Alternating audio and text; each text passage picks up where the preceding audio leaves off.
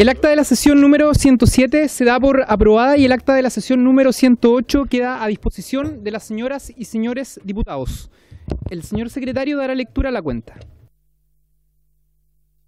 Gracias, señor presidente. Se han recibido los siguientes documentos. Mensaje de Su Excelencia el Presidente de la República, por el cual da inicio a la tramitación del proyecto que autoriza a las instituciones de seguridad social para celebrar convenios de pago de cotizaciones previsionales adeudadas y modifica las leyes que indica. Un oficio también de Su Excelencia el Presidente de la República, a través del cual hace presente la urgencia calificada de suma para el despacho del proyecto de ley que autoriza a las instituciones de seguridad social para celebrar convenios de pago de cotizaciones previsionales adeudadas y modificar las leyes que indica. Un proyecto de ley iniciado en moción de los diputados señores Manucheri, Cuello, Durando Eduardo, Giordano, Hirsch, Ibáñez, Leal, Zafirio y Ulloa, y de la diputada señora Chicardini, que modifica el Código del Trabajo para conceder permiso especial a los trabajadores en el día de su cumpleaños un oficio del delegado presidencial regional de la Araucanía, por medio del cual envía respuesta a oficio de la Comisión e informa acerca de las medidas implementadas para ofrecer protección a los funcionarios municipales de la región de la Araucanía. Un oficio del ministro de Justicia y Derechos Humanos, a través del cual da respuesta a oficio de la Comisión e informa respecto a las gestiones realizadas para agilizar la tramitación del proyecto de ley que aprueba la, disolución de la editorial jurídica de Chile y establece normas para su liquidación. Eh, y al respecto informa que se encuentra estudiando los antecedentes para posteriormente remitirlo al Ministerio de Hacienda para la adopción de la decisión correspondiente. Una copia de, oficio del eh, subsecretario subrogante, eh, perdón, del subsecretario del Trabajo al subsecretario subrogante de Hacienda, por medio del cual deriva oficio eh, de la Comisión a fin de que dé respuesta directa acerca del costo e impacto económico para el país que significaría declarar el primero de mayo como feriado irrenunciable. Un correo de la señora Fabiola Cabrera, de la Asesoría Técnica Parlamentaria de la Biblioteca del Congreso Nacional, por medio del cual remite informes sobre modificación de las excepciones de los feriados irrenunciables, respondiendo así oficio de la Comisión. Un correo del señor Cristóbal Leiva, secretario técnico del Consejo Consultivo Previsional de la Subsecretaría de Previsión Social, a través del cual remite el estudio encargado por el Consejo y licitado por la Subsecretaría de Previsión Social, titulado Medición de Impacto de Beneficios Previsionales No Contributivos de Vejez sobre el Mercado Laboral y el Ahorro Previsional. Un correo de la Asociación Nacional de Trabajadores y Trabajadoras, María Esther Ferez, de la eh, de la Dirección del Trabajo, Antramef, por medio del cual solicitan audiencia con la Comisión para poner en conocimiento la grave situación que les aqueja referente a prácticas antisindicales y discriminatorias por parte del Director Nacional de la Dirección del Trabajo. Un correo de las asociaciones de funcionarios de la Dirección del Trabajo, ANFUTECH, ANFUCH, por medio del cual solicitan a la brevedad una audiencia con la Comisión para poder exponer acerca del avance y trabas respecto de la Ley sobre Modernización de la Dirección del Trabajo, luego de tres años de su entrada en vigencia. Un oficio de la Comisión de Vivienda, Desarrollo Urbano y Bienes Nacionales eh, de esta corporación, por medio del cual adjunta correo de la señora Mónica Pérez, funcionaria de la Ceremi de Salud de la región de O'Higgins, quien solicita interpretar el artículo 1 de la ley número 21.652 en el sentido de permitir continuar con teletrabajo a los funcionarios públicos que contaban con él para eh, por ser madres cuidadoras, personas, personas con TEA o tener discapacidad, o en subsidio permitir el fraccionamiento de la jornada, dado que su empleador consultó con el departamento jurídico, quienes indicaron que no era posible realizar esa adecuación y que la ley exigía jornada completa.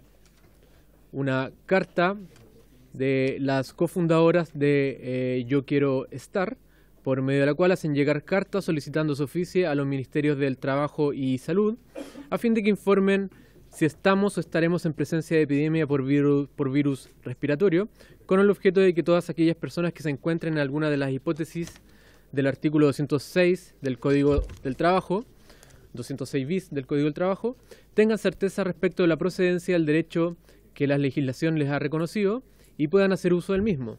En su efecto, para que informen qué medidas preventivas se están evaluando para que las madres, eh, para que madres y padres del sector público no se vean en la disyuntiva de tener que elegir entre la salud y eventualmente la vida de su hijo y su trabajo remunerado. Por último, comentan que resulta paradójico que sean trabajadores del Estado principal impulsor, impulsor de políticas públicas, quienes estén desprotegidos en una situación tan vulnerable.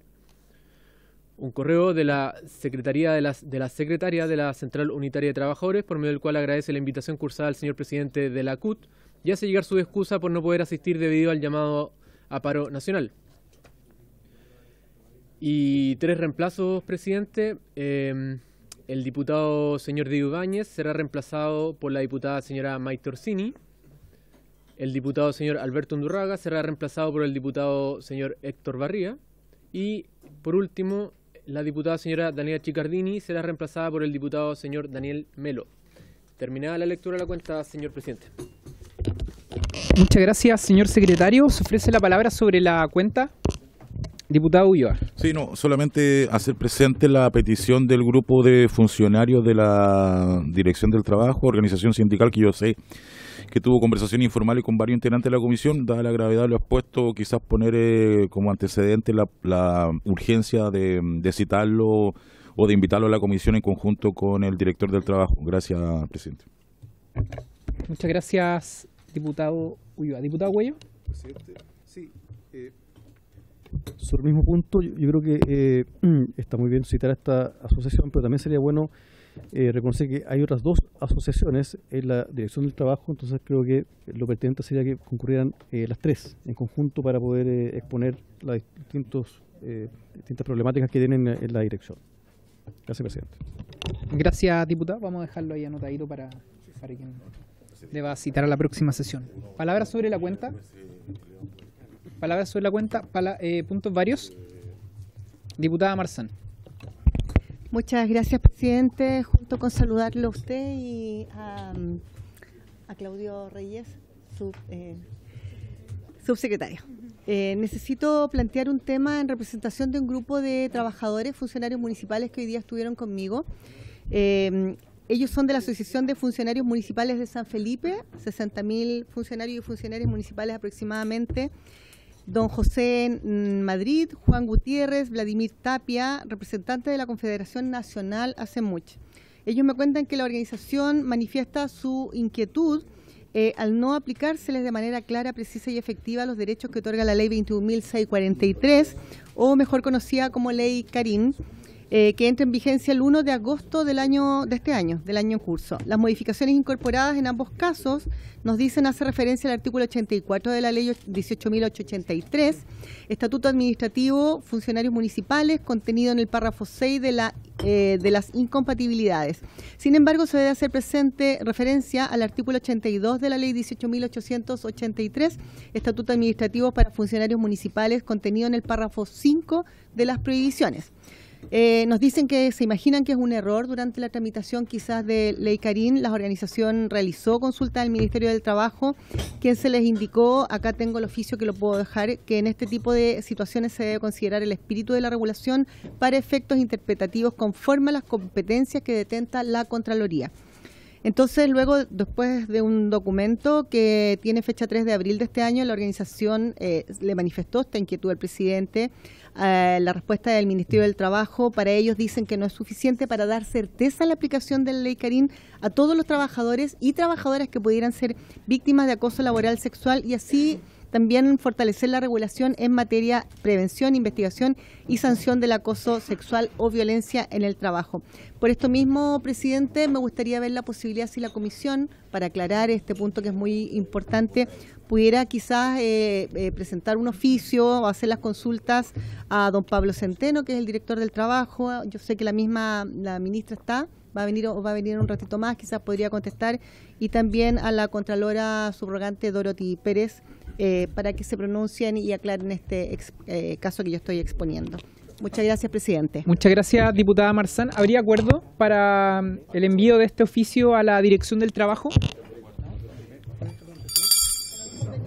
Bien, adelante. ¿Puntos varios? Diputado Lavé, diputado Giordano.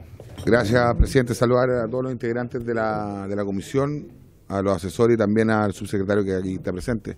Por su intermedio, evidentemente, presidente. Presidente, me junté con la... Deme un minuto.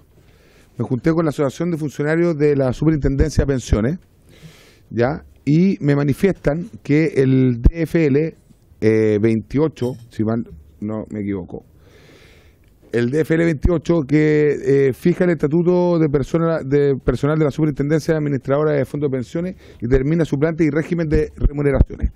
Presidente, este DFL tiene un artículo, que es el artículo 7, que en donde eh, a ellos les genera una cierta curiosidad porque finalmente el artículo 7 deja empoderado al superintendente para remover a su arbitrio, o sea, eh, bajo la, a cualquier funcionario, bajo la implementación de que él o los funcionarios son de exclusiva confianza del superintendente.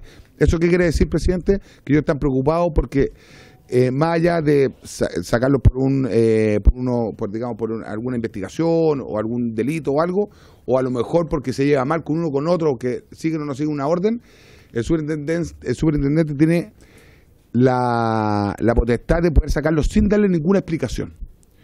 Y este es el artículo 7 del DFL 28 que me gustaría, presidente, si podemos oficiar o podemos pedirle al Ministerio del Trabajo que nos pueda eh, exponer sobre este, este DFL, sobre todo en el artículo 7, ¿para qué? Para ver si en conjunto esta comisión puede hacer una ley simple de poder, que entiendo que es facultad del Ejecutivo, eh, ver si podemos eliminar este artículo 7, que en definitiva, para resumir, presidente, es totalmente injusto contra los trabajadores porque pueden ser despedidos por ni siquiera dándole el motivo de por qué, son despedidos. O sea, no tienen derecho a un sumario, no tienen derecho a nada y siempre van a estar a la merced y a la voluntad y al estado de ánimo del superintendente. Entonces, presidente, me gustaría ver, aprovechando que llegó la ministra, aprovecho salvarla, si es que podríamos eh, acoger, poder hacer un proyecto de ley simple, rápido, para poder eliminar el artículo 7 del DFL 28. Gracias, presidente.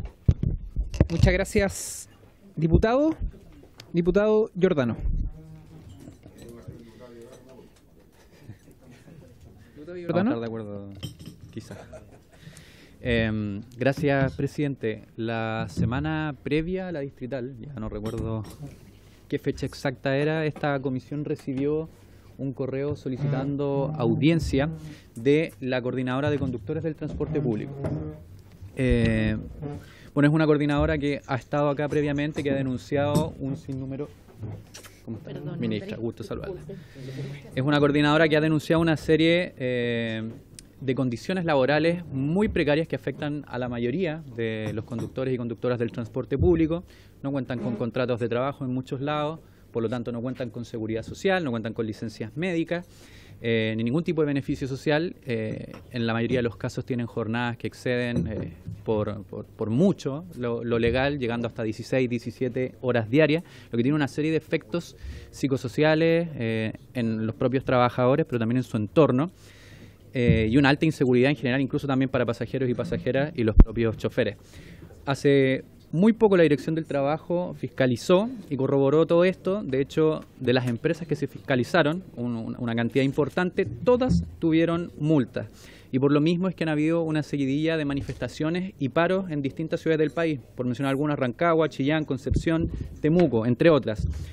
Pero además, eh, la razón por la que vuelvo a traer este tema hoy día es porque desde que se solicitó esta audiencia han ocurrido una serie de hechos bien lamentables. Eh, entre ellos, hace dos semanas en la provincia de Talagante asaltaron a un conductor, le dispararon a su hijo, eh, que lo acompañaba en el recorrido. La semana pasada también le dispararon a otro conductor cerca de Loayudor y le fracturaron el fémur de un balazo y terminó en la posta central, pero al no tener contrato eh, se quedó sin licencia ni sueldo ni ningún tipo de seguridad social. Entonces, en vista de todo esto, me parece, presidente, que es importante apurar la audiencia solicitada, como ya se han solicitado otras acá, porque la situación de verdad que es crítica y las condiciones laborales de este sector urge que tengan atención a la Comisión de Trabajo. Gracias, presidente. Muchas gracias, diputado Giordano. ¿Oficio entonces? Más bien recabar el acuerdo de que se incluyan a la brevedad posible, ojalá la próxima sesión. Perfecto no estamos tomando acuerdo para las invitaciones, sino las vamos a dejar consignadas para que quien le corresponda asumir la presidencia lo, lo considere. ¿Algún otro parlamentario o parlamentaria que quiera hacer uso de su palabra en puntos varios? Yo, presidente, pero, cortito. Por favor, diputado, cortito, por favor. Presidente, tengo en mi poder acá una noticia, digamos, un, un gráfico que saca la, la radio de Bio, en donde sale Chile entre los cinco países con mayor desempleo de la OCDE. Se lo quiero pasar a la ministra, porque más allá de ser ministra de Previsión Social, también es ministra del Trabajo, a ver si se lo puede pasar por su intermedio presidente a sus otros colegas, a los otros ministros de, digamos, de Economía, etcétera, para ver si se lo pasa a través de la Secretaría, para ver si en algún momento vamos a empezar a trabajar para disminuir el desempleo y la brecha que hay hoy día en el empleo. Muchas gracias. Gracias, diputado. Que se haga con copia a todos los integrantes de la comisión, por favor. Bien, muchas gracias, diputado. Bien. Eh, orden, por favor. Eh, bien. Le damos la bienvenida a la, a la ministra, eh, quien se acaba de incorporar. Habíamos saludado recién también al subsecretario de Previsión Social, quien también nos, nos acompaña. Eh, la sesión del día de hoy tiene por objeto tratar la siguiente tabla. En primer lugar, proceder a la elección del presidente o presidenta de la comisión de conformidad con lo dispuesto por el artículo 241 del reglamento de la corporación. Don Pedro Muga, usted tiene la palabra.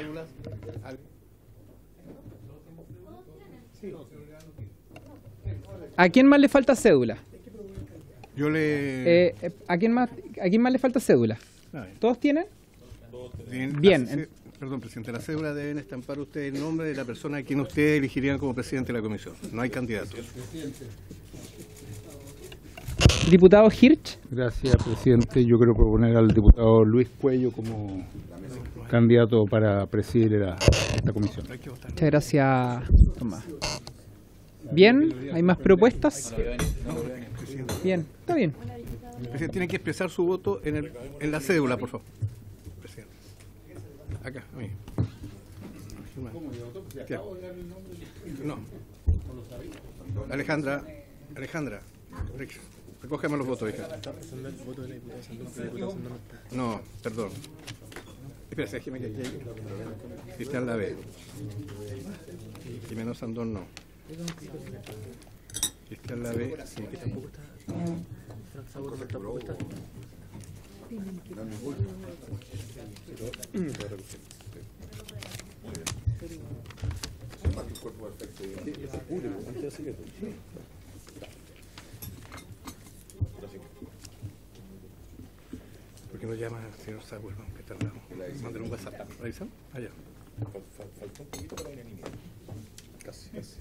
Allá.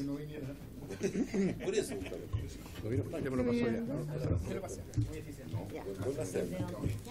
¿Cuántos diputados están acá? No, presidente? Ah, falta ella, falta su voto. ¿Es suyo? Sí. Oiga, pero no se vayan a pasar rollo. ¿Cuánto hay? Oye, ya, no, ¿cuál es el problema? ¿Cómo no? ¿Qué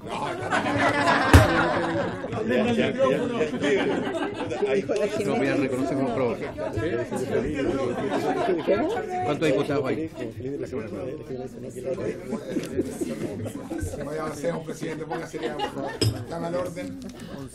¿Les parece que en un gesto, les parece que en un gesto de, de, de buen de buen clima esperemos al diputado Sauerbaum y al diputado y al diputado Durán que viene ingresando? ¿Alguien le puede avisar al diputado Sauerbaum, por favor?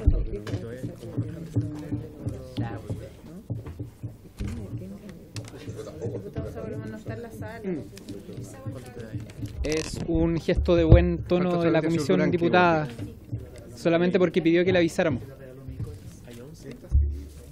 Sí, aquí hay once.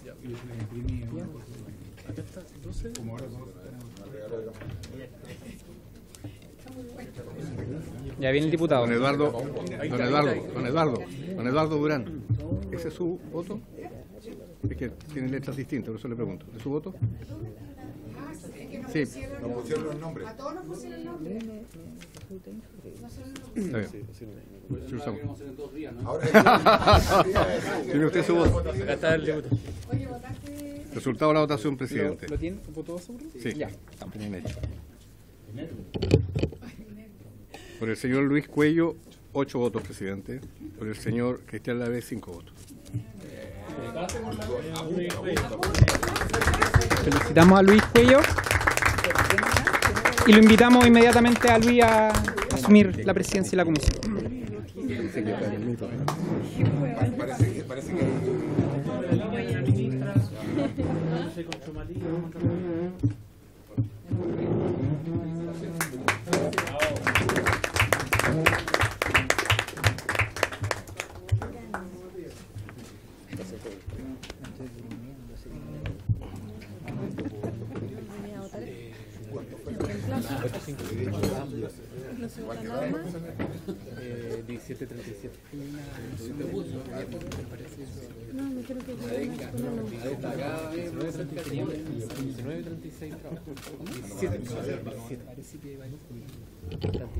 Bien, estimadas colegas, estimados colegas, eh, agradezco la, elección, eh, esta alta responsabilidad, esta comisión tan importante para nosotros.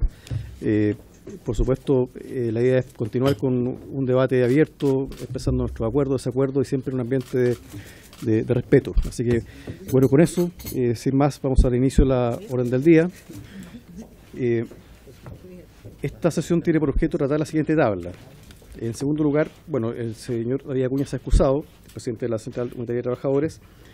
Por lo tanto, ahora vamos a iniciar la discusión en particular del proyecto originado en moción que modifica diversos cuerpos legales para promover la contratación de personas jóvenes sin experiencia laboral previa. Boletín 14624. Eh, señor secretario. Presidente, corresponde en esta sesión iniciar la discusión particular de este proyecto de ley que ya fue aprobado en general, por lo cual a usted ofrecer la palabra si algún parlamentario quiere hacer uso de la palabra en la discusión particular. ¿Cuál empezamos a Este, que usted acaba de anunciar, el, el contratación de personas. ¿Qué artículo? El artículo primero. El artículo primero de este proyecto. Perfecto. Ya. Bien, quiero recordar que este proyecto ya fue eh, discutido en sesiones anteriores, fue aprobado en general, eh, por lo tanto ahora eh, corresponde partir votando el artículo número primero del proyecto de ley eh, que reemplaza eh, o que agrega un nuevo artículo 12 bis al Código del Trabajo y que y bueno dejo abierta la palabra para que los señores y señoras diputadas puedan opinar para que procedamos a la, a la votación. Ofrezco la palabra. Diputado Kirch. Gracias, presidente. Eh, gracias, presidente. Yo no era parte de la comisión cuando se votó en general, entonces tengo una duda que, bueno, quizás ya lo conversaron, pero de todas maneras sirve para poder eh, aclararlo. El proyecto en general me, parece muy interesante, creo que promueve efectivamente el, eh, la contratación de personas jóvenes y está planteado en términos de que eh, sea una contratación de ambos géneros, ¿no es cierto? Y desde ese punto de vista creo que busca efectivamente, eh, bueno, apuntar ahí donde sabemos que la tasa de desempleo es más alta, así que me parece que es muy interesante. Tengo una duda solamente con la redacción, porque dice las empresas de 100 o más trabajadores deberán contratar al menos un 10% de personas comprendidas. Y yo no sé si se refiere más bien a que deben contar con un 10% de personas eh, entre 10, 18 y 28 años, porque podría ser que la empresa ya cuente con un porcentaje mayor al 10% o un 7 o un 8, etcétera. Entonces, no me imagino que el sentido del proyecto no es que contraten 10 perso- 10, 10 10% adicional. Entonces ahí me parece que habría que hacer una corrección. Tengo la impresión yo en el, en el sentido que tiene el proyecto y que, diga eh, las empresas de 100 o más trabajadores deberán contar con al menos un 10% de personas comprendidas, etcétera, porque si no estaría planteando que una empresa, por ejemplo, de 500 personas que puede tener perfectamente ya ese porcentaje tenga que agregar eh, 50 personas más. Entonces, no, no, me imagino que no era ese el sentido del, eh, del, del proyecto, digamos, una, una contratación eh, que, que no es la que se requiere, sino que contar con ese eh, eh, eh, número de... Lo mismo que de dicha contratación no podría exceder un 50%, me imagino es de dicho porcentaje de ese 10%. Entonces, lo planteo como una duda respecto de cuando lo discutieron, si ese era el sentido o no, y en caso contrario, quizás habría que ver la reacción de tal modo que quede muy claro que se refiere a al conjunto de personas con las que cuenta la empresa que sean un 10% los que están entre 18 y 28 años. Así que lo planteo como una duda y una propuesta en caso que efectivamente sea como lo planteo. Bien. Gracias, diputado Kirch. Diputado Durán. Eh, bueno, a pesar de la simplicidad del proyecto, eh, mi consulta es si van a dos personas a exponer nuestro es Yo encuentro positivo, ya que se, a personas que no tienen experiencia laboral se les puede incorporar al, a las distintas empresas existentes. Bueno.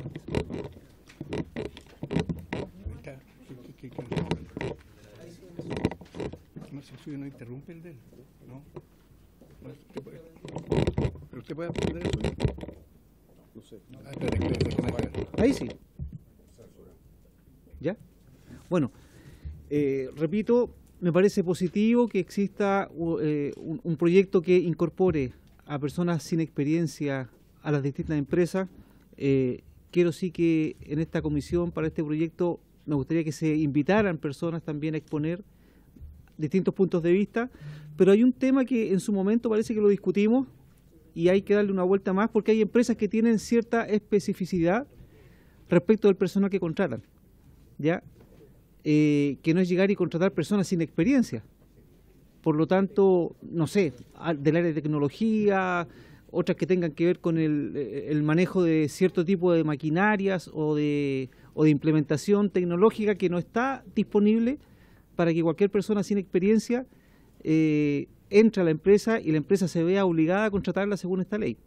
Así que yo creo que en ese sentido también hay que darle una vuelta a este, a este proyecto.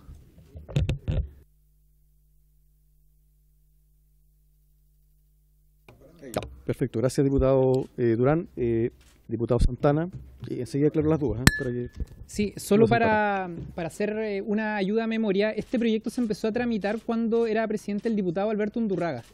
Y en ese entonces, cuando se inició la discusión, la tramitación, se hizo, se extendió la invitación a, a varias personas, varias organizaciones, dentro de las cuales estaba la OIT, estaba la, la Central Unitaria de Trabajadores, el gobierno también dio su propuesta. Y yo entiendo que cuando se inicia la discusión en particular, eh, naturalmente, digamos, no, no, podemos, digamos, eh, abrir ese espacio para que eh, puedan sumarse más parlamentarios. Sí recojo, como autor de esta moción parlamentaria que fue presentada en el periodo anterior, lo que acaba de señalar el diputado Hirsch respecto a la redacción del, del- mismo artículo al cual él ha hecho mención, pero que en el fondo rescata esta inquietud que nos han manifestado muchos jóvenes que son principalmente profesionales. ¿ah? Yo quiero en eso encasillarlo porque es allí en donde se genera el, principal conflicto y que tiene relación con que en muchos concursos, en concursos me refiero públicos y, y- y también del sector privado, se les exige a los profesionales que van a postular tener dos años o tres años o cuatro años de experiencia. ¿no? Y eso es un criterio que es bastante razonable, pero al mismo tiempo genera un impedimento a la hora de que estos trabajadores puedan ingresar dentro de un determinado campo laboral y es una cuestión que nos han manifestado en realidad eh, muchísimas personas. Yo por eso, digamos, hago mención al, contenido, digamos, de esta, de esta moción eh, y si es necesario, Presidenta, a lo mejor pudiese votarse en una próxima sesión para efectos de incorporar una mejor redacción, concordarla con los colegas eh, y eh, iniciar la, votación en particular. Es, un- es una norma, es un, proyecto además bastante sencillo, bastante corto, agotado.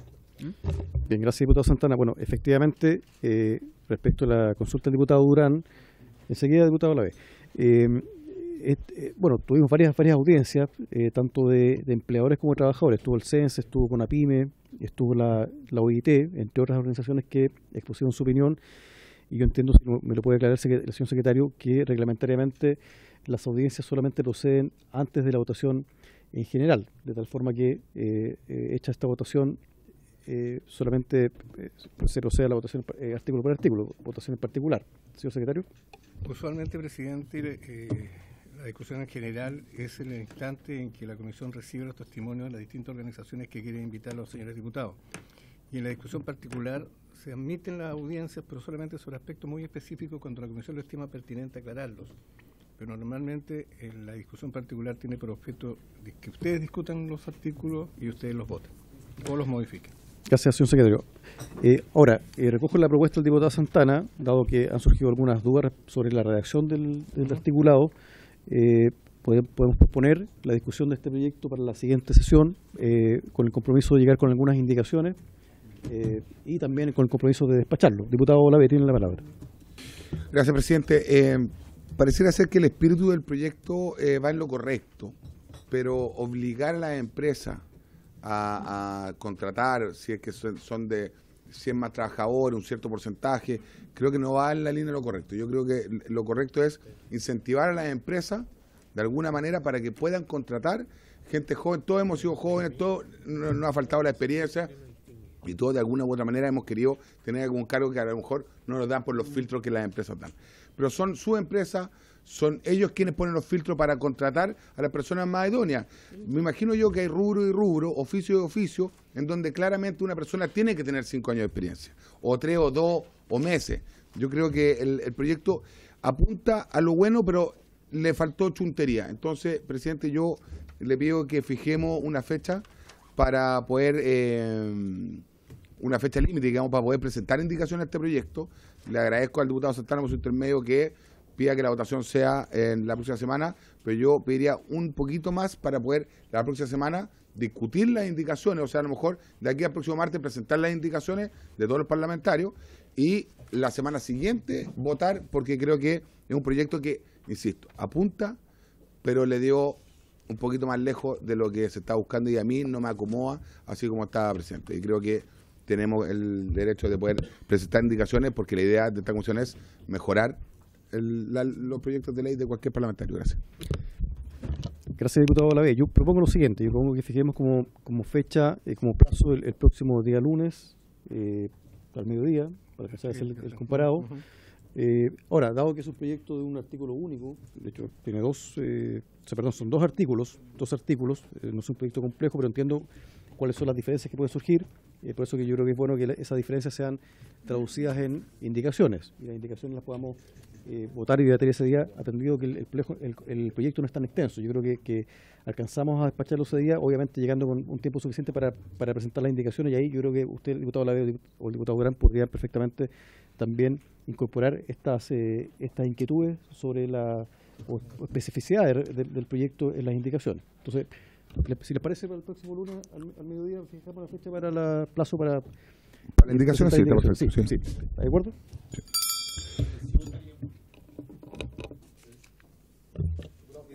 No, no, para claro, entonces hasta el lunes a mediodía enviamos indicaciones a Secretaría y en la sesión del martes sí lo votaríamos en particular, entonces con esas indicaciones, Así digamos, es. con la discusión de la indicación. To- tomando en cuenta la extensión del proyecto, que es un proyecto no, no es tan complejo, pero que demos el debate, digamos, con las indicaciones en la mano. ¿no? Presidente, me parece bien. Creo que usted tiene el, digamos, la potestad, digamos, para así hacerlo, más allá de la voluntad de nosotros. Yo creo que podríamos eh, generar un poquito más de tiempo. Pero me gustaría que el próximo martes partiéramos con eh, la visión y la opinión del Ejecutivo. Creo que me gustaría, porque este proyecto es de 2022, han pasado dos años, sería bueno refrescar un poco, a lo menos como ya no vamos a tener invitados, porque ya en teoría, en particular, eh, los tuvimos, sería bueno que el Ejecutivo nos presentara su opinión con respecto al proyecto en, en la primera parte de la comisión y luego debatiremos la, indicación y luego votación. Ustedes tienen la potestad de así verlo. Muchas gracias. Muy bien, diputado Lavey, vamos a invitar al Ejecutivo para que pueda opinar al respecto en la, en la siguiente sesión. Diputado Gran. Para no irme con la duda de la comisión, presidente, ya que está el diputado Santana, que es uno de los autores, por su intermedio consultarle a él que me, que me explique un poco más, porque este proyecto se refiere a todas las empresas con 100 o más trabajadores, ¿cierto? Ya. Son empresas establecidas que tienen su planta ya instalada, ¿ya? Entonces, eso significa incorporar 10 nuevos trabajadores, ¿ya? O reemplazar a los 10 que existen, ¿ya? O sea, pero, Pero- de- pero- de- pero- pero disculpa, estoy dando un ejemplo de una- de del, básico de 100, de 100 trabajadores. Una empresa que tenga 100 trabajadores. Ya, para yo eh, digerir un poco el proyecto, porque no lo entiendo. ¿Se incorporan nuevos 10 trabajadores o tiene que cambiar a los que existen por trabajadores que no tengan experiencia entre 18 y la edad que pone ahí?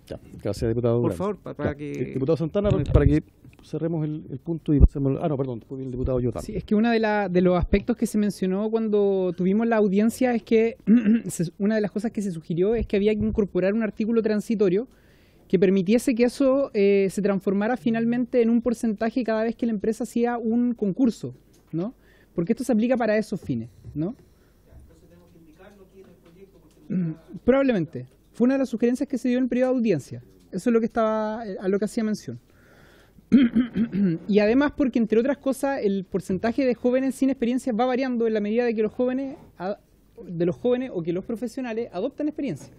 Por tanto, eh, dentro de la tramitación eh, se sugirieron un par de, artículos transitorios que yo los puedo sociabilizar con la comisión el día, el día de, la, de la votación. Eso. Perdón, escúchame. Jordano tiene la palabra para que vayamos cerrando el punto. Sí, gracias, presidente. Bueno, esta es una iniciativa que nosotros manifestamos nuestro deseo de que sea debatida y que se avance, porque efectivamente existe una brecha. Eh, la población juvenil sin experiencia, como ha dicho el diputado que es autor de esta moción, el diputado Santana, eh, efectivamente muchos profesionales se quedan sin o, enfrentan muchas barreras de entrada al mercado laboral. Yo, solo a propósito de lo que mencionaba el diputado Hirsch, ahora lo recogió un poco el diputado Durán, respecto de si esto tiene que ver con agregar un 10% adicional o cambiar un 10% actualmente existente, creo que es importante dentro de cualquier artículo transitorio, eh, y a propósito que el Ejecutivo va a exponer sobre esto la próxima semana, que se pueda no solo hablar de los tiempos de implementación para, afectar, para evitar incentivos per, perversos, como podría ser el reemplazo de personal con experiencia por trabajadores y trabajadoras sin experiencia a propósito de una obligación legal o al revés, subir los costos sin que sea necesariamente requerido por el empleador. Eso yo creo que es un debate muy amplio, saber si esto puede conversar con algunas de las políticas de subsidio al empleo joven, por ejemplo, que el Ejecutivo actualmente trabaja, ¿no? que son parte de las políticas públicas, y, y, tratar de conversar para que exista un plazo de tiempo, pero además ciertos incentivos para que esa población que va a ingresar a trabajar sin experiencia, los empleadores también tengan de alguna manera eh, herramientas para sostener un equilibrio y que no perjudique a ninguna de las partes que uno quiere beneficiar. Gracias, presidente. Bien, gracias, diputado. Diputado Gracias, presidente. Eh, lo felicito por cómo ha conducido la mesa hasta el momento. ¿eh? Oiga, eh, vamos a ver si partimos con Dios sin Dios la próxima semana. Oiga, presidente, eh, me gustaría pedirle a través de usted a la Secretaría, o a lo mejor hay un mecanismo, porque han transcurrido ya dos años, entonces eh, probablemente estamos un poco, podemos haber perdido un, poquito la justificación de algunos o la opinión de la CONAPYME, empleados, empleadores, perdón, que dieron su opinión en su momento. Si la Secretaría puede entregar el, la acta de esa, de esa sesión, a lo mejor la puede enviar de alguna manera o a lo mejor la puede presentar el mismo día en, en, al comienzo para un pequeño resumen para ver qué era lo que opinaban el resto que a lo mejor la memoria en dos años a lo mejor es media eh, frágil. Bien, bien diputado. En un solo documento, un compilado. Sí, sí, o las presentaciones que se hicieron en, en su oportunidad para que tengamos, eh, actualicemos la información. ¿ah? Bien, diputado Lave. Bueno, entonces vamos a pasar al segundo punto de la orden del día. Eh, bueno, se, se incorpora a la mesa, le damos la bienvenida al señor Vicente Martínez, quien es jefe de división de control de instituciones de la Superintendencia de Pensiones. Bienvenido, Gracias. don Vicente Martínez. Y pasamos entonces a eh, iniciar la discusión, el estudio del mensaje de Su Excelencia el Presidente de la República que autoriza a las instituciones de seguridad social para celebrar convenios de pago de cotizaciones previsionales adeudadas y que modifican las leyes que indica y para ello ha sido invitada la señora Janet Jara Román, ministra de Trabajo y Previsión Social y también el subsecretario señor Claudio Reyes. Eh, señora ministra, tiene la palabra. Gracias, presidente. Bueno, en primer lugar quisiera saludar a la diputada y los diputados presentes, las diputadas y los diputados presentes, dado que en realidad hace bastante tiempo no habíamos tenido oportunidad de vernos. Eh, lo segundo que quería señalar, si me permite, antes de partir con el punto, quería agradecer al presidente saliente de la comisión, Juan Santana, que jugó un rol clave en la discusión de la reforma previsional en esta comisión y en todos los proyectos de orden laboral que se tramitaron y se convirtieron en ley el año pasado, porque por su intermedio presidente, como lo señalaba el diputado Lave, no soy solamente ministra de la Previsión Social, sino que también del Trabajo. Por eso estamos contentos de poder celebrar ahora este mes el inicio de las 40 horas, que son una ley laboral, así como también en un par de meses más el inicio del salario mínimo a 500 mil pesos, que también es una ley laboral, y además la recuperación de 460 mil puestos de trabajo con datos concretos y probados y no con solamente dicho así al aire. En segundo lugar, quisiera felicitarlo, presidente. Me alegra mucho que se haya cumplido un acuerdo en esta Cámara Creo que la palabra empeñada en política vale y se debe respetar. Lo felicito y no me cabe duda que va a tener una excelente conducción. Como la palabra vale, nosotros venimos a dar cumplimiento a uno de los acuerdos que hicimos con las empresas de pequeño y mediano tamaño en el marco de la discusión tanto del salario mínimo como de las 40 horas, así como también con la Central Unitaria de Trabajadores cuando se acordó la ruta para el alza del salario mínimo. Y esto dice relación con la preocupación que le asiste a los empleadores que por diversas razones, y en particular en el marco de la pandemia, se atrasaron en sus deudas con los trabajadores. Hay que recordar que la figura que aquí opera es una retención del empleador de eh, un ahorro previsional que es de propiedad de los trabajadores, como se ha discutido reiteradamente, aun cuando son cotizaciones de la seguridad social. Dicho aquello, este proyecto lo que busca es poder ayudar para que los empleadores puedan ponerse al día en las obligaciones que tienen.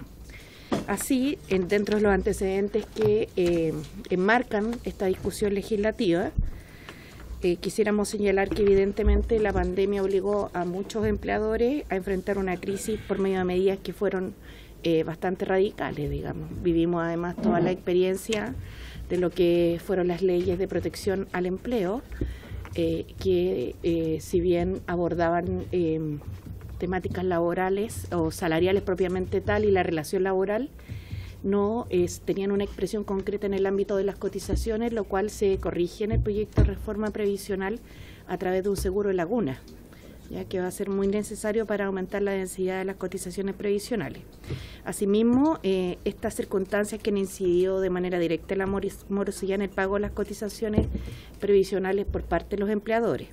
Eh, se dan también en un contexto que no ha sido fácil, porque al inicio del gobierno, como sabemos, recibimos un país que tenía bastante complicaciones de orden económico, que ha costado irlo normalizando y que estamos eh, en este sentido hoy día con índices de inflación que muestran que el esfuerzo que ha hecho Chile estos últimos dos años está dando resultados.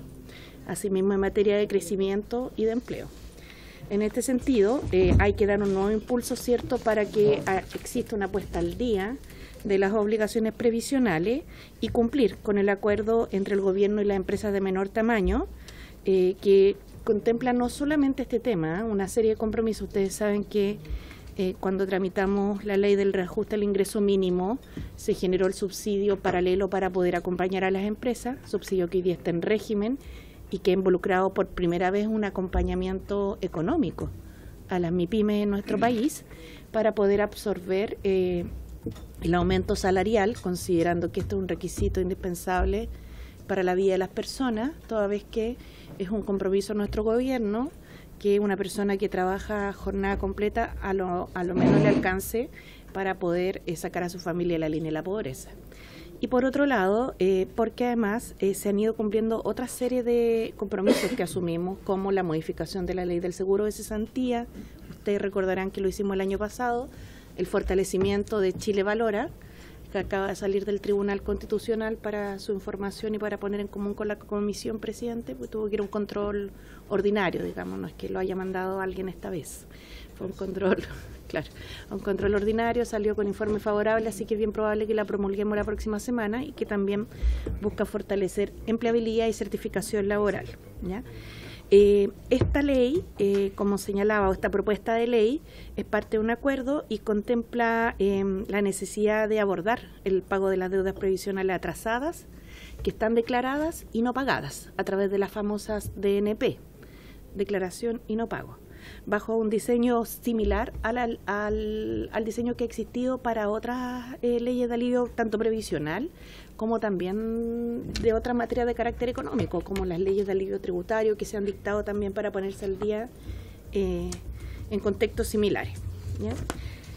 ¿Qué es lo que se hace? Eh, reconociendo la importancia y el motor que reviste las pequeñas, las micro, las pequeñas y medianas empresas al constituir una fuerte importante empleo son eh, las empresas que generan mayor cantidad de empleos en el país, pero que tienen evidentemente una participación de mercado muy menor respecto a la gran empresa. Se han ido tomando algunas medidas, como eh, la ley que ustedes recordarán en diciembre del año pasado amplió la cobertura de las compras ágiles del sistema de Chile Compra, pasando de un millón a seis millones de pesos y dejando este mercado exclusivo para empresas de pequeño y menor tamaño. Eh, pero además, eh, esto es muy clave para poder avanzar en la desconcentración del mercado, porque tenemos una situación en la cual los que más ofrecen empleo son los más pequeños, que son además los que tienen más eh, dificultades, digamos, para poder mantener la empresa, más morosidad, y son además quienes pagan más salario mínimo. En ese contexto, esta iniciativa para nosotros es prioritaria y lo que se hace en este proyecto de ley es facilitar el pago, el pago de las cotizaciones previsionales a través cierto de eh, cuotas que se proponen y de algunas rebajas que vamos a pasar a eh, denunciar. Para esto eh, se agregan modificaciones a la ley, al decreto ley 3500 y también a la ley de la cobranza judicial de carácter previsional. Quisiera señalar que en el proyecto de reforma de las pensiones, en la parte no polémica, entiendo, capaz que me equivoqué, pero entiendo porque así fue aprobada, se propone una serie de medidas que buscan optimizar los procesos de cobranza previsional. ¿ah? Eh, Chile tiene un recupero bastante importante dentro de los primeros seis meses, eh, desde la fecha de declaración y no pago. Sin embargo, eh, en sede judicial se produce una situación distinta. Por eso se plantea que se puedan usar las habilidades en régimen, esto es algo de excepción, este proyecto de ley, pero en régimen, las habilidades, por ejemplo, que tiene Tesorería General de la República para la búsqueda de los morosos. Em, vamos para lo siguiente. Existen algunos datos que es bueno tenerlos en, en perspectiva porque son relevantes para esta discusión. Las deudas vigentes entre febrero del 2020 a diciembre del 2023 Originalmente esto se había eh, cortado en un periodo anterior, pero en la conversación con las pymes eh, que se hizo en el trabajo prelegislativo se acordó extender este periodo hasta diciembre del 2023. Estamos hablando de 324 mil millones de pesos. Es una cifra bien considerable, de la cual el 58% corresponde a deuda de pequeña, micro, pequeña y mediana empresa. ¿ya? Eh, hay un 10,7% de gran empresa y hay otro sector, ¿cierto?, que tiene que ver con eh, deudas que están categorizadas como eh, otros deudores que eh, en, la siguiente intervención va a, va poder entregar un poco más de antecedentes la Superintendencia de Pensiones. Aprovecho de excusar al superintendente que hoy día se está realizando el encuentro de IEOs, que son los supervisores, los fiscalizadores, digamos, internacionales y están en un encuentro hoy día reunido precisamente respecto de la discusión de cómo rentabilizar mejor las inversiones en materia eh, y para lo cual tenían unos paneles eh, bastante interesantes para poner en común con la comisión relativos a los fondos generacionales y cómo estos se constituyen, que también vienen dentro de la reforma previsional y que también fueron aprobados por esta Cámara de Diputados en instrumentos que son eh, de menor eh, costo en su ejecución y de mayor eh, rentabilidad dado el largo plazo en el cual se invierten, pero también un segundo panel respecto del uso de la inteligencia artificial en materia de rentabilidades. Y es bien necesario, perdón que me desvíe, presidente, es bien necesario porque dentro de esa conferencia en la que tuvimos oportunidad de estar en la mañana con el subsecretario, fíjense que se dio el recuento de cómo han cambiado las rentabilidades. En la década del 80 la rentabilidad de los fondos previsionales fue más del 12%. En la década del 90 bordeó el 10%. En la década del 2000 el 5,8%. Y en la década del 2010 el 4,8%. Entonces estamos ante un desafío de envergadura. Que en la deuda, en otras deudas están las deudas principalmente de los municipios, ¿ya? Eh, en el del gráfico anterior. ¿ya? De todas maneras vamos a dar una mirada un poquito más profunda. De la deuda total de las MIPIMES, estamos hablando de 189 mil millones. Este 24,7% corresponde a la deuda de la microempresa, un 51% a la pequeña empresa y un 24% a la mediana empresa. ¿ya? Si ustedes pueden ver en el gráfico siguiente, ahí se expresa cuánto es el monto total entonces del sector que abarcaría este proyecto de ley, 184 mil millones de pesos, y la incidencia de cada uno de las empresas por tamaño. El contenido del proyecto de ley, como señalé, modifica tanto la ley de cobranza previsional eh, de orden judicial como el decreto ley 3500 y lo que hace es establecer el derecho a acogerse a un convenio de reprogramación de cotizaciones, excepcionalmente y por única vez. Gracias. Quisiera señalar que esto es excepcional porque hay que recordar que las cotizaciones previsionales salen del haber de los trabajadores, donde el empleador lo que hace es actuar es como agente retenedor. Por tanto, de mala manera podría haber un- una excepción que se convirtiera en regla general cuando se trata de dineros que son ajenos para la seguridad social, pero ajenos, ¿ya? El respectivo convenio va a tener, una vez que la ley se apruebe, ¿cierto?, Eh, que celebrarse en el plazo de 60 días del- de la entrada en vigencia de la ley y la forma en cómo se liqui- liquidará la deuda respectiva en la que se va a considerar en base a las cotizaciones propiamente tal, a los intereses que también pertenecen al pecurio del trabajador desde el 2017 en adelante, eh, porque antes también eh, había una parte que se iba a los organismos privados y a los reajustes que las leyes vigentes establecen. Por tanto, la deuda se va a poder reprogramar hasta en 18 cuotas y deberá cumplir con los requisitos que se establecen en el respectivo convenio de pago, entre los cuales se señala que el empleador deberá estar al día en el pago de las cotizaciones previsionales de sus trabajadores de las remuneraciones de enero de este año en adelante. O sea, haber mostrado con efectividad material el- la intención de cumplir con sus obligaciones previsionales. eh, asimismo, la primera cuota deberá pagarse dentro de los primeros 10 días del mes subsiguiente a la celebración del convenio, lo que prorrogará hasta el primer día del siguiente si dicho plazo expira sábado, domingo o un festivo. Las demás cuotas se van a pagar en la oportunidad en que corresponde enterar las cotizaciones de la seguridad social, o sea, se va a hacer calzar esto con el calendario ordinario de pago de cotizaciones. En no pago oportuno de tres de estas cuotas del convenio eh, o de cualquiera de las cotizaciones de vengada de remuneraciones que se han debido pagar con posterioridad a la fecha de la solicitud, tendrá como efecto entonces la resolución de pleno derecho del convenio, lo cual esperamos que no ocurra, porque en ese caso lo que va a ocurrir es que se va a habilitar a la entidad cobradora o acreedora para que cobre el total del saldo a la fecha. Por tanto, es- esta es una buena oportunidad para que las pymes puedan ponerse al día. ¿ya? El proyecto establece eh, los siguientes beneficiarios. Primero, las y los empleadores que son los agentes retenedores de las cotizaciones previsionales de empresas de menor tamaño, conforme a lo que establece la ley 20.416. ¿ya? Los contribuyentes acogidos además al régimen de renta presunta de la ley sobre impuesto a la renta del artículo 34, número 1 y, respec- y además, perdón, eh, que apruebe el texto que indica la ley sobre impuesto a la renta respecto a las personas sin fines de lucro. En segundo lugar, además, las comunidades de copropiedad y las cooperativas constituyen conformidad con el decreto eh, número 5 del año 2004 del Ministerio de Economía, que son parte también de los beneficiarios del subsidio al salario mínimo. Em, siempre que cumplan con los requisitos para ser empresas de menor tamaño, de acuerdo a lo establecido en la misma letra eh, de la ley citada. En tercer lugar, las y los empleadores de trabajadoras de casa particular. Y en cuarto lugar, las municipalidades y las corporaciones municipales. ¿ya?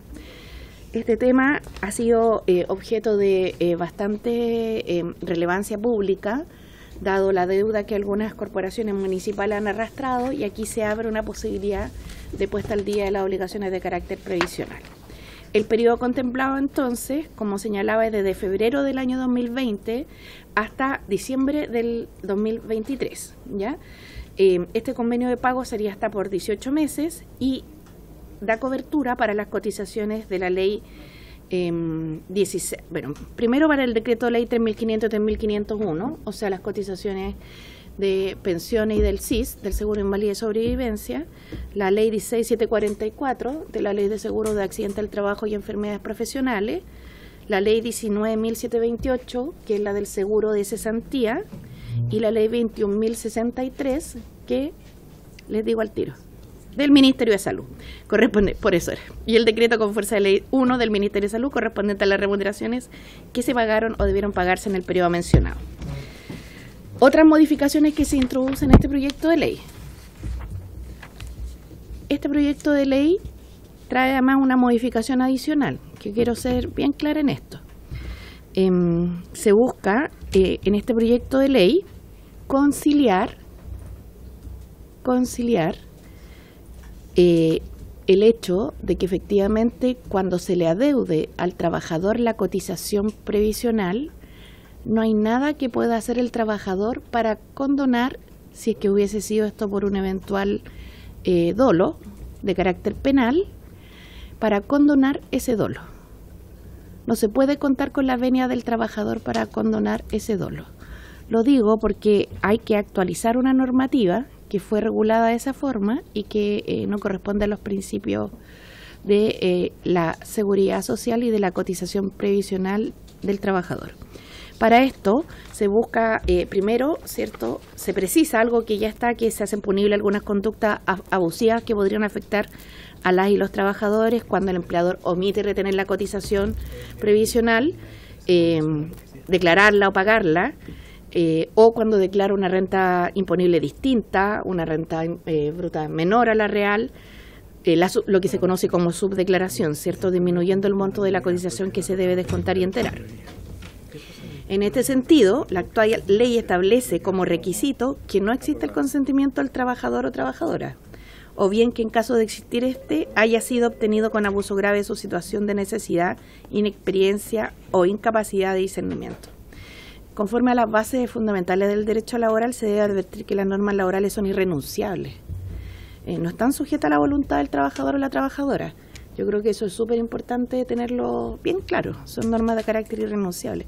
Circunstancia que entonces eh, nos motiva para hacer un ajuste a la referida normativa a los estándares técnicos del derecho del trabajo. O sea, se corrige un error. Eso, presidente, por su intermedio. agradecemos junto al subsecretario y al, y al jefe de la Superintendencia de Pensiones su disposición. Muchas gracias, ministra. No sé si el subsecretario quisiera complementar, o Vicente, ¿no? No sé si habrá preguntas. Se deja abierta la palabra entonces. Diputados. Diputado B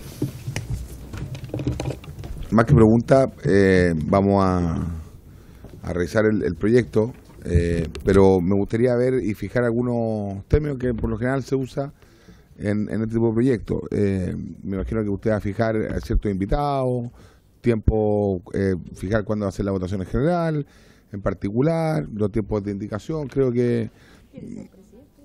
No, no, no, no, no, no. Me quedé, perdí por una mayoría circunstancial. circunstancial accidental. Eh, pero creo que fijemos las cosas porque el proyecto se ve interesante. Hay algunas cosas que más adelante las podría preguntar, que tiene que ver con el Estado le va a prestar plata a las municipalidades para pagar, eh, como el, mismo Estado le está prestando plata al... Eh, hay una parte que está enredada, pero prefiero profundizarlo yo, el proyecto, antes de hacer la pregunta, y me gustaría ver cómo, fijamos, porque tengo aquí un listado de invitados que me gustaría incorporar para la próxima semana. Diputado Hirsch. Gracias, presidente. Sí, a mí también me parece que es muy importante, interesante el proyecto, dada la situación particular que se generó por la, por la pandemia, en que efectivamente eh, muchos empleadores efectivamente no pudieron, digamos, o no, contaban con los recursos, o en fin, todas las situaciones que sabemos que se vieron en la pandemia. Yo tengo por ahora dos preguntas muy muy puntuales, eh, por cierto hay que estudiar más el proyecto. Uno, no sé si está establecido, no lo encontré, ¿cuál sería el plazo para acogerse a este, porque vi el plazo, plazo como en que inicia, el proyecto comienza 15 días hábiles después, estuve mirando que se publique, pero ¿cuánto tiempo hay para acogerse eh, al, al, a este plan de pago? Esa era una duda que tenía. Y lo otro quería preguntar, eh, un dato de números para tener la información. Eh, casas particulares, me imagino, los trabajadores y las trabajadoras de casas particulares, me imagino que están en el grupo MIPYME, dentro de esa categoría, no sé. Ah, micro, claro, micro. Entonces quería saber si está el dato de cuánto es esa deuda, eh, debiera estar. Y dos, el caso de las municipalidades, hay tamaños muy diversos, algunas que más parecen efectivamente eh, pymes o micro, pero otras que son gigantescas e incluso han habido situaciones bastante eh, irregulares o dudosas, por decirlo menos, pero que claramente se parecen más a grandes empresas porque manejan cientos de miles de millones de pesos. Entonces, eh, eh, me llamó un poco la atención que, estuvieran incluidas todas las municipalidades en general y saber un poco, entonces me gustaría conocer los números respecto de qué corresponde a grandes municipalidades, qué corresponde, no sé cómo están categorizadas, pero pero me, me interesa mucho conocer ese detalle eh, de lo- en base a los tamaños de la municipalidad y en particular además el tema de la casa particular. Gracias, presidente. Bien, gracias, diputado Kirch. Eh, yo quisiera agregar una pregunta. Eh, primero, eh, eh, ya que esto emana de un compromiso con, con algunas eh, con, pequeñas y medianas empresas, si, se, si existe alguna, alguna estimación respecto al número de empresas que se podría acoger a este, a este proyecto. Lo segundo es que, que ocurre en caso de incumplimiento, para poder tener esa, esa claridad. Eh, y en tercer lugar, si eh, esto irá acom- acompañado de alguna campaña de difusión, porque sabemos que son muchas múltiples empresas, eh, para efectos de, de que se adhieran al- a los convenios de pago.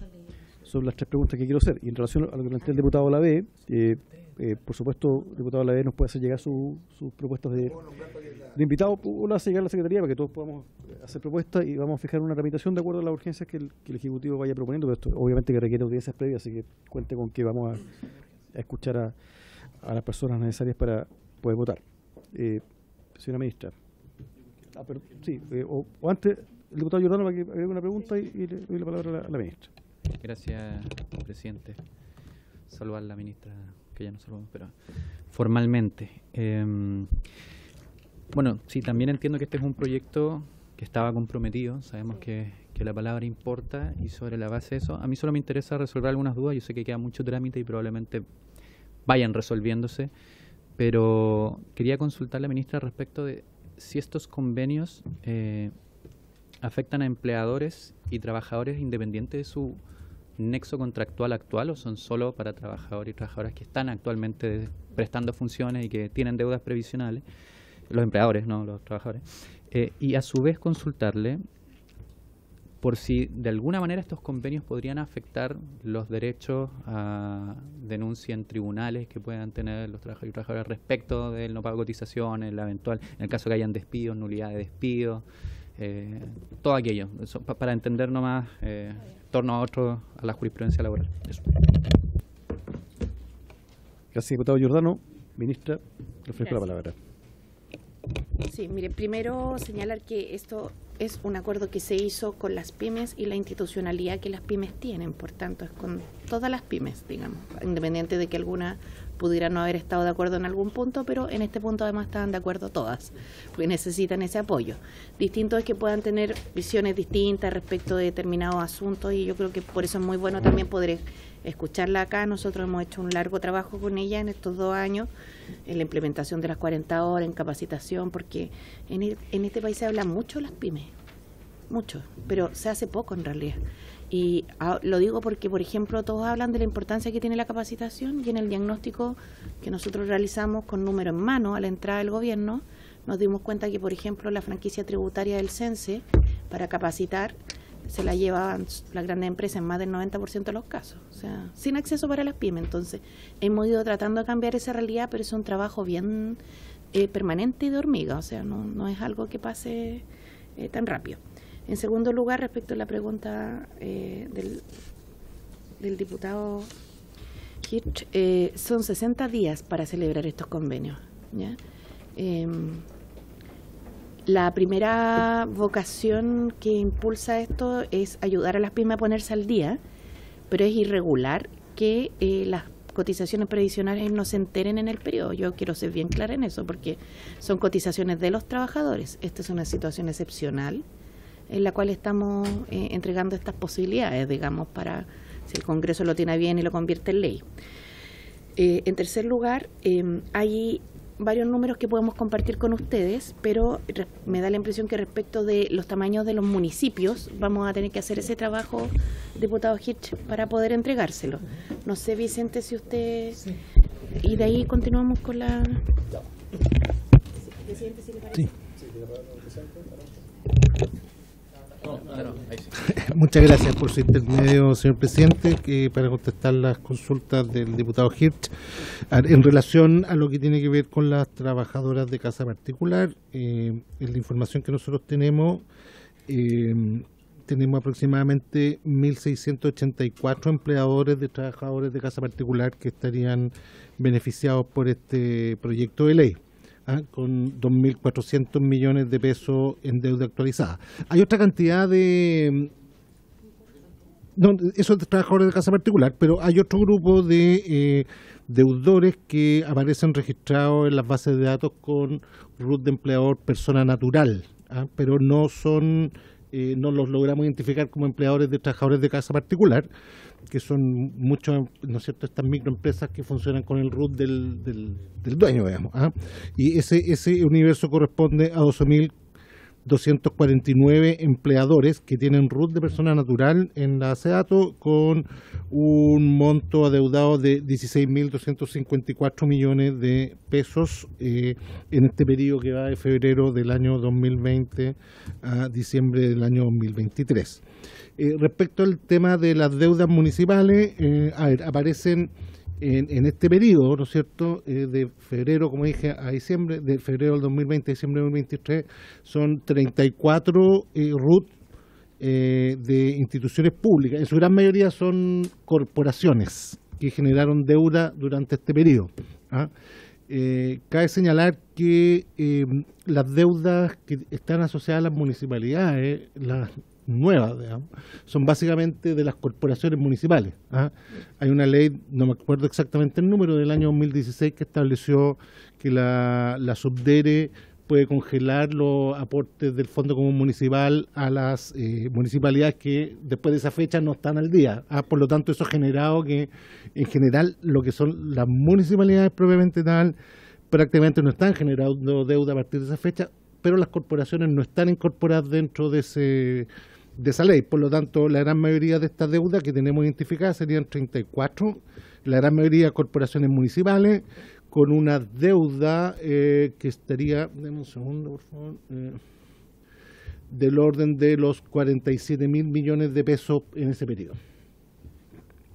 Ahora, son pocas municipalidades, las podemos identificar, o sea, pocas corporaciones, no, es muy difícil identificarlas, pero lamentablemente no traje el, dato, pero son 34 corporaciones, digamos. Sí, sí, sí, eso no cuesta, lo vamos a preparar y... Diputado para que termine la ministra y le damos la palabra a la presidenta. Eh, sí, hay un par de cosas más que no, no sé si... Eh, sí, sí, permiso. Eh, sí, respecto de de si esto está asociado con la situación laboral actual, digamos, no si las personas están trabajando, la, deuda previsional se mantiene independiente que exista la relación laboral o no. ¿ah? Eso queda hasta que se pague, independiente de la situación de la, de la, de la relación laboral. No obstante, hay que recordar que, ¿no es cierto?, la ley Busto exige que para eh, ejecutar un finiquito estén las cotizaciones laborales al día. ¿Ah? Eh, el proyecto de ley detiene las acciones judiciales mientras se encuentra en pago, ¿no es cierto?, el, convenio y si se deja de, pagar se activan todas las, digamos, se vuelve a la situación original. ¿ah? Eh, y si se, lo que está también en la ley, ¿no es cierto?, que si se procede al despido durante el convenio, el, empleador tiene que pagar toda la deuda en forma acelerada, digamos, no esperar hasta el fin del convenio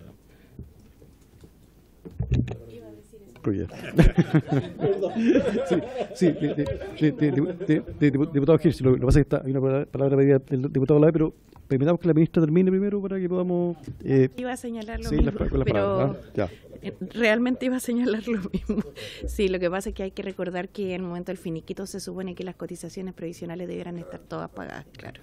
De todas maneras, eh, se contempla, ¿cierto?, en este caso, que el pago de los convenios de los trabajadores que se encuentren con una relación laboral vigente y que no y que pasa en la realidad si eso es lo que ocurre porque si se respetaran todos los derechos laborales no tendríamos los problemas que tenemos eh, la deuda debiera quedar saldada al momento del finiquito. Si esa regla no se cumple, lo que ocurre es que muchas veces eh, los trabajadores concurren a los tribunales y en ese caso eh, habría que esperar cierto la aceleración del convenio para ver con qué acción judicial aquí se procede. Gracias, ministra. Eh, diputado Lavés, después el diputado Hirsch. Presidente, pregunta de, no sé si rápida respuesta, pero, o sea, no sé si es fácil respuesta, pero rápida respuesta sí. Presidente, eh, tengo entendido que al 2022 la deuda provisional de la municipalidad alcanza los 230 mil millones. Esa es la información que manejo yo. A lo mejor el, representante del, del superintendente 22, adeudado profesional municipales alcanzaba los 230 mil millones. Pero uno más, uno menos, pero voy a que es un monto no menor. Eso es una cosa.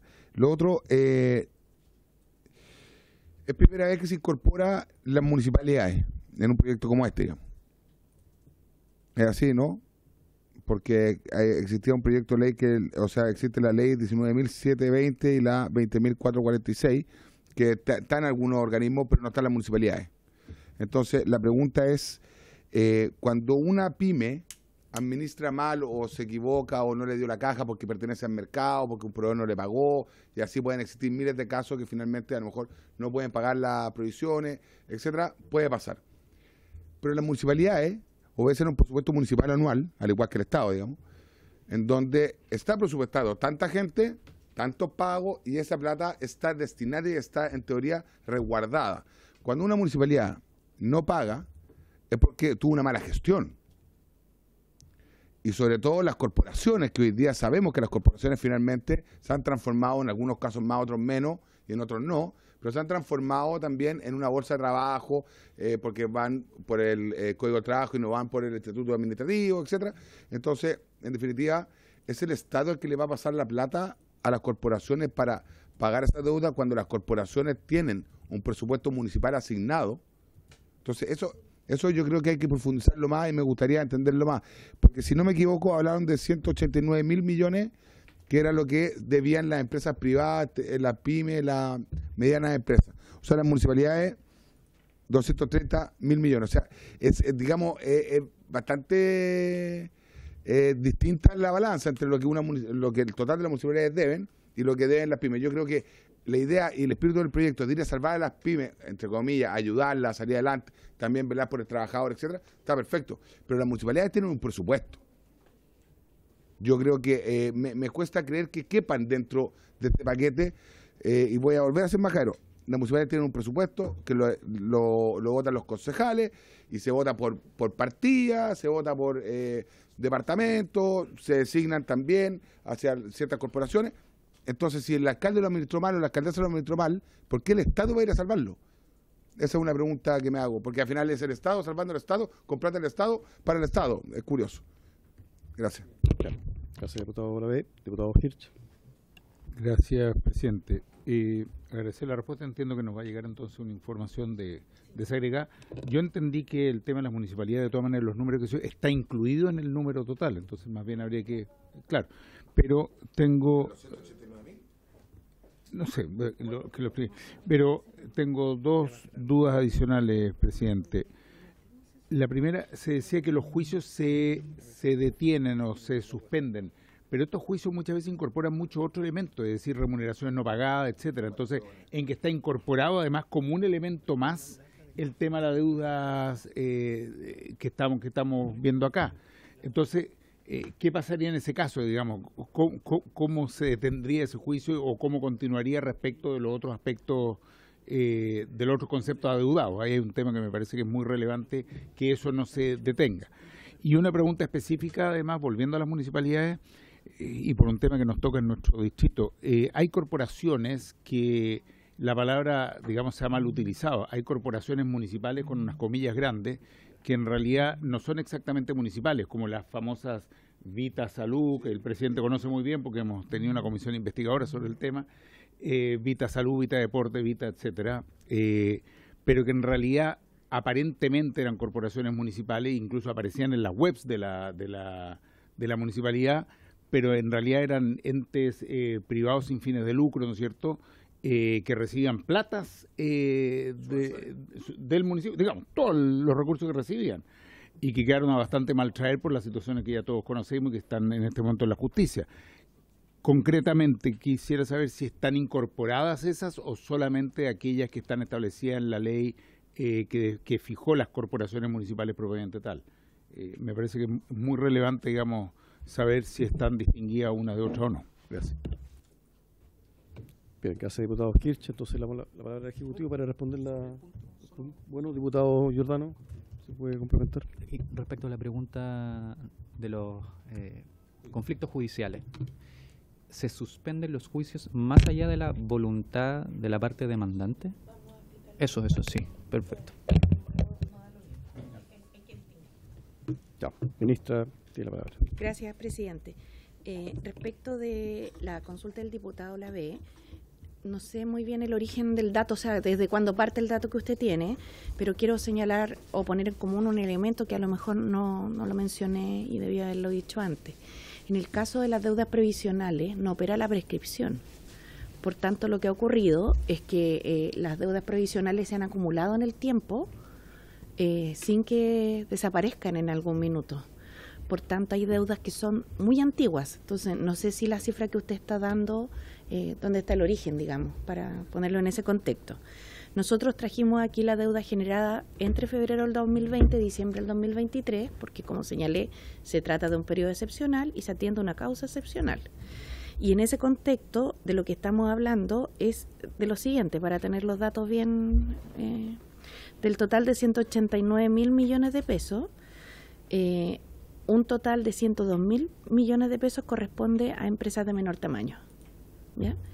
Es decir, hay 49, 48, 49 mil microempresas mantienen una deuda de 46 mil 728 millones de pesos, que es un 14,4% de la deuda total, y esto representa una deuda promedio por empresa de un millón de pesos. ¿ya? Por cierto, una deuda promedio por empresa no quiere decir. Por supuesto. En el ámbito de las pequeñas empresas, porque estarán las micro, de las pequeñas empresas, hay 45.300 empresas eh, que mantienen una deuda de 96.500 millones de pesos. ¿ya? Esto representa el 29,7% de la deuda total y estaríamos hablando de una deuda promedio por empresa de 2,1 millones de pesos, ¿ya? para tener una idea de la magnitud.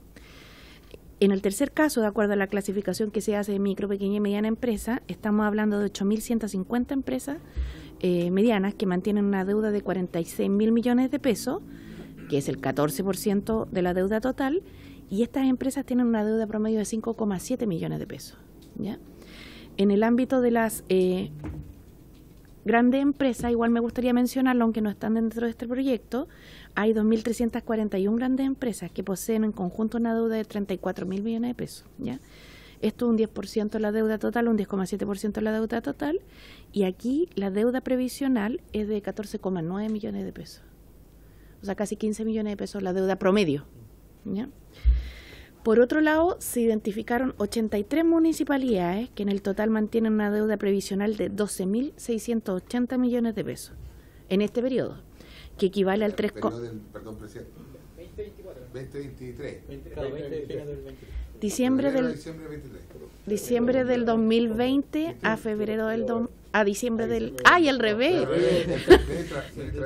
febrero 2020 y 31 de diciembre de 2023 sí. Diputado por su intermedio presidente.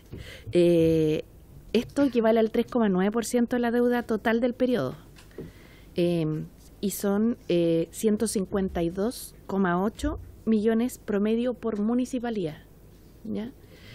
En corporaciones, hay 79 corporaciones que identificamos con deuda, las que mantienen una deuda de 37 mil millones de pesos, equivalente al 11,4% del total de la deuda, y las corporaciones mantienen un promedio por corporación de 468 millones de pesos. Entonces, nosotros, aunque eh, como este acuerdo era con las pymes, debatimos bastante sin incorporar aquí a las municipalidades y las corporaciones porque entendíamos que la naturaleza del acuerdo estaba con el foco puesto en las pymes. Sin embargo, ante esta realidad, eh, y dado que se trata de recursos de las y los trabajadores, nos pareció importante poder hacer un esfuerzo, digamos, que eh, permitiera generar condiciones para la puesta al día de algunas de estas corporaciones y municipalidades. Respecto de la pregunta de quién va a pagar esto, la verdad es que ya lo pagaron. Lo pagaron los trabajadores que se los pasaron a sus empleadores, quienes no enteraron esto en, en sus respectivas cotizaciones previsionales. Y sobre la duda de si esto involucraría más gasto fiscal, el proyecto de ley viene acompañado de un informe financiero donde se señala expresamente que esto no irrogará, irrogará perdón, un mayor gasto fiscal. ¿ya? Por tanto, las corporaciones y municipalidades que hagan el esfuerzo y que tengan la capacidad para ponerse al día son aquellas que van a poder celebrar estos convenios. Eh, luego, en el caso que esto no ocurra, hay que recordar que eh, se abren precisamente las opciones de llevar esta temática a sede judicial. Me gustaría pedirle a nuestra asesora del Ministerio del Trabajo, si me lo permite, presidente, que pudiera explicar el tema de los juicios, si lo tiene bien, nuestra asesora laboral.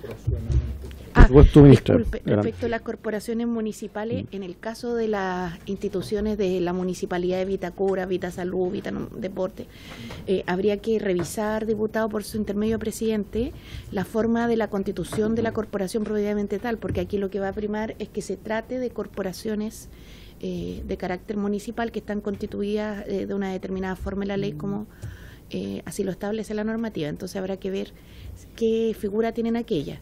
De todas formas, hay que recordar que si caen dentro de la figura, esto se trata de dinero de los trabajadores. O sea, más allá de lo que hayan hecho sus empleadores, es de los trabajadores y por tanto hay que buscar las fórmulas para que se les reintegren, porque efectivamente una razón, entre otras múltiples, de las bajas pensiones tiene que ver con la baja densidad de la cotización y las lagunas previsionales. Pero lo vamos a revisar atentamente, diputado Hirsch, por su intermedio presidente. María José. Bien, gracias, ministra. Entonces le damos la palabra al asesor del ministerio. Le agradecería que se presente para, para el registro de la comisión. Ahí está. Por su intermedio, presidente, muchas gracias. Eh, María José San Martín, asesora legislativa del Ministerio del Trabajo. Eh, si fuera posible darle la palabra a Nicolás Acuña del, eh, de la Superintendencia de Pensiones, que se va a referir al, al tema en específico eh, respecto de qué pasa a propósito de la pregunta del diputado Hirsch. Gracias. Adelante, don Nicolás.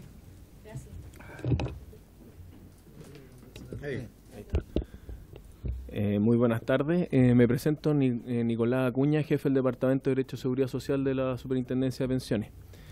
El, respecto a la cobranza judicial de las cotizaciones, eh, voy a poner un ejemplo. El, en relación por- a la administradora de fondos de pensiones, el DL3500 tiene una, le, le entrega la obligación de seguir las acciones tendientes al cobro de, la, de las cotizaciones adeudadas. Misma obligación tiene el Instituto de Previsión Social, por ejemplo, las cotizaciones que se, se enteran en el sistema antiguo de pensiones. Y, por ejemplo, la administradora de fondos de cesantía tiene la misma obligación en la ley 19.728. Entonces, estos son juicios, cuando se habla de la suspensión del juicio, se habla de ese juicio.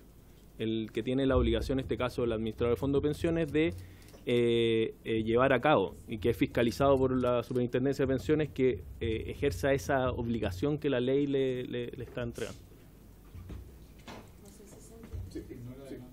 Se, se entiende, sí. sí. Eh, le agrego una, una pregunta que tiene que ver con el incumplimiento del convenio de pago. Si es posible que nos pueda precisar qué, sí, qué consecuencias jurídicas tiene el, el incumplimiento del convenio de pago. ¿Se Ministra. puede apagar su micrófono? Gracias, presidente. Sí, mire, eh, como señalaba la Superintendencia de Pensiones, es importante tener en claro que cuando el trabajador paga eh, su comisión, por ejemplo, a la FP, la FP, entre otras funciones, tiene que cumplir la función de la cobranza previsional. Como señalé, la gran mayoría del re- reintegro de las cotizaciones previsionales adeudadas se, pro- se produce en sede administrativa, al contrario de lo que eh, a veces popularmente se pudiera creer, digamos. Eh, dentro de los primeros seis meses hay un reintegro superior al 86% si mi memoria no me falla. ¿Qué es lo que ocurre? Que lo que llega a las em, a los tribunales es lo que se hace ejerciendo ya en sede judicial estas acciones. Se suspende el juicio, pero se mantienen las medidas precautorias y de embargo. Eso igual es importante tenerlo presente. Y el proyecto de ley así lo establece. Si hay una eh, mora en el pago de hasta tres cuotas, se produce una, una aceleración de la deuda, del saldo de la deuda total. Hay una cláusula de, evidentemente, aceleración del monto de la deuda y si no, se procede con el juicio con eh, todas las características que este tiene al tratarse de un juicio que eh, va a tener cierto, eventualmente, un embargo sobre determinados bienes del empleador. Ahora, todo esto que uno lo señala, lo que ocurre en la práctica, y por eso hay que modificar esto en materia de cobranza previsional en sede judicial, es que hace varios años atrás ya, yo diría que el 2015, también, si la memoria no me falla, la Corte hizo un largo análisis de este tema de las cobranzas previsionales, porque ocurre que al momento de notificar a los empleadores, muchos de ellos en sede judicial no son habidos, no son habidos. Entonces se producen procesos de reorganización empresarial, de cambio de domicilio que no se notifican y esto va acumulando y acumulando deuda. Quisiera referirme a un segundo tema, presidente, por su intermedio, que tiene que ver con esto. Eh, la cotización previsional adeudada va a estar constituida por la cotización propiamente tal, por el interés y por los recargos, ¿cierto? Con motivo de los eh, reajustes y la pérdida o el cambio de, del monto nominal del valor del dinero. Hasta el 2017, esos intereses, desde el inicio del sistema de FP, iban para las AFP. En el 2017 esto cambió y nosotros tuvimos la oportunidad de participar en la eh, legislación de esa ley, pero eso ocasiona que en este proyecto de ley se establezcan convenios de pagos que otorguen plazo y facilidades, más no con donación de los intereses, porque forman parte del peculio de los trabajadores. Entonces lo señalo porque es uno de los temas que podría salir dentro de las audiencias, pero que tiene ese contexto. Se le había entregado esta facultad eh, de recibir los intereses a la AFP porque se estimaba que su capacidad de cobro era muy incipiente en, en, un inicio, digamos, pero 40 años después eh, uno podría decir que eso está con crece y excesivamente superado, digamos, sus capacidades eh, para generar utilidades son grandiosas. Entonces, en realidad no era necesario esta ayuda que provenía del origen de la cotización del trabajador y eso hoy día, por tanto, tiene este otro efecto de que no podría condonarse parte de ese interés. Gracias, presidente. Gracias, ministra. Tiene la palabra el diputado Kirch. Una nueva duda que van surgiendo, pero es que me parece muy interesante. Sí, eh, pensando un poco en el proyecto, que, seguimos diciendo que es muy importante e interesante poder avanzar en él, eh, ¿qué pasa? Quizás está resuelto, pero ¿qué pasa si mientras tanto uno de esos trabajadores se pensionó? Eh, y ya está pensionado, digamos, ¿qué pasa con la, con la recuperación eventualmente, si es que se establece este plan de pagos, con la recuperación de, eso, de esa plata, digamos? ¿A dónde van y, y, cómo, a dónde se destinan y cómo modifica o no modifica su, su pensión que ya está definida, digamos? Podría incluso haber tenido un, eh, haber pasado el sistema de seguro, digamos, etcétera, ¿no?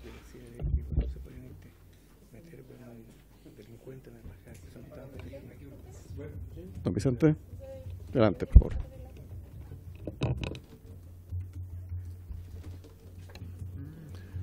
Muchas gracias. Eh, sí, bueno, toda la, la, deuda previsional es independiente de la situación en que se encuentre el afiliado, ya sea activo o pensionado. ¿ah? Eh, no, no, se extingue y no, no, no se expira la deuda con motivo de que la persona se pensione o o, sea, hay una compañía seguro, renta vitalicia, lo que sea. Siempre la recuperación de la deuda va a ir a la cuenta individual del trabajador. ¿ah? Y, si ese monto ingresa eh, en forma posterior a la pensión, irá al recálculo de pensión respectivo. En el caso que ya haya contratado una renta vitalicia, podrá tomar un, retiro programado o incorporarlo a la renta vitalicia, digamos, pero lo importante es que el monto siempre va a ser en beneficio del trabajador, independiente de su situación, si está pensionado o no.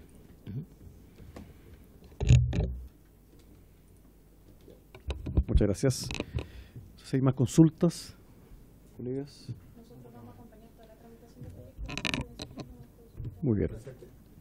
Diputado ve para que queden en acta y ver cómo lo vamos a hacer, eh, cuáles van a ser los tiempos, cómo creo que es importante dejarlo más o menos definido ahora porque lo más probable es que nos llamen, sería fome que nos llamaran a votar el proyecto la próxima semana, entonces los invitados, cómo, cuáles van a ser los tiempos que usted va a poner, los tiempos de indicación, etcétera. Sí, diputado, mire, eh, yo eh, le propongo que nos haga llegar a la Secretaría la lista de propuestas de invitados, de propuestas de invitados. Nosotros vamos, como reitero, a fijar una tramitación de acuerdo a la, a la urgencia que el Ejecutivo vaya, vaya estableciendo y, desde luego, y la, idea es por supuesto eh, escuchar a, todos quienes sean necesarios, eh, con la presencia de la ministra que ha comprometido su, o del Ejecutivo, claro, de su secretario que ha comprometido su asistencia.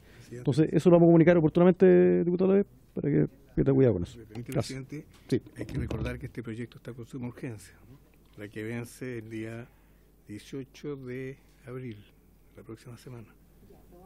Ya. Sí, sí, fue okay. para poder ponerlo en la tabla. Ok. Sabía que no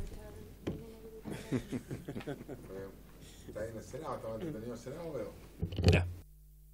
Bueno, si no hay más, más consultas, por ese cumplido el objeto de la sesión, esta se levanta. Muchas gracias.